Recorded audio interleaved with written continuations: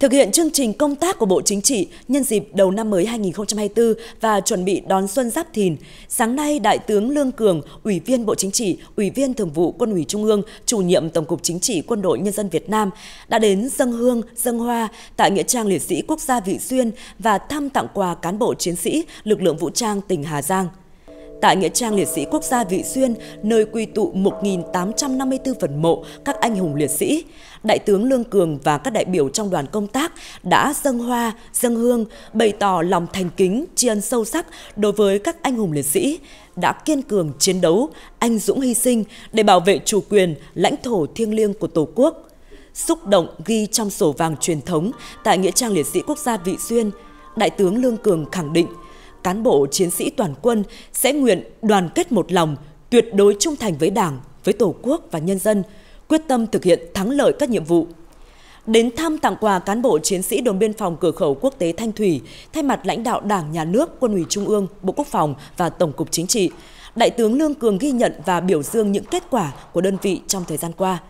đồng chí chủ nhiệm Tổng cục Chính trị yêu cầu Đảng ủy, Ban chỉ huy đồn cần tiếp tục tập trung xây dựng khối đoàn kết, thống nhất cao trong toàn đơn vị, xây dựng đội ngũ cán bộ, chiến sĩ có phẩm chất, đạo đức tốt, có năng lực và trách nhiệm cao, chấp hành nghiêm kỷ luật, pháp luật,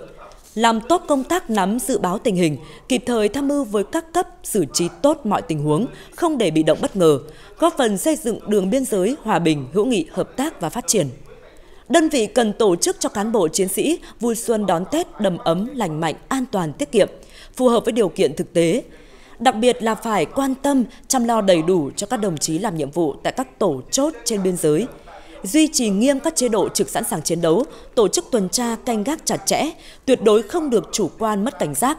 chấp hành nghiêm kỷ luật pháp luật, đảm bảo an toàn trong dịp Tết, vui xuân nhưng không quên nhiệm vụ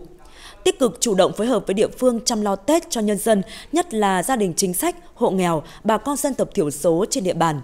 Đại tướng Lương Cường tin tưởng cán bộ chiến sĩ Bộ đội Biên phòng tỉnh Hà Giang luôn phát huy cao độ tinh thần đoàn kết, chung sức đồng lòng, thực hiện thắng lợi nhiệm vụ quản lý, bảo vệ chủ quyền an ninh biên giới, giữ gìn trật tự an toàn xã hội trên địa bàn và đấu tranh phòng chống có hiệu quả với các loại tội phạm. Thật sự là chỗ dựa vững chắc cho cấp ủy, chính quyền và nhân dân khu vực biên giới.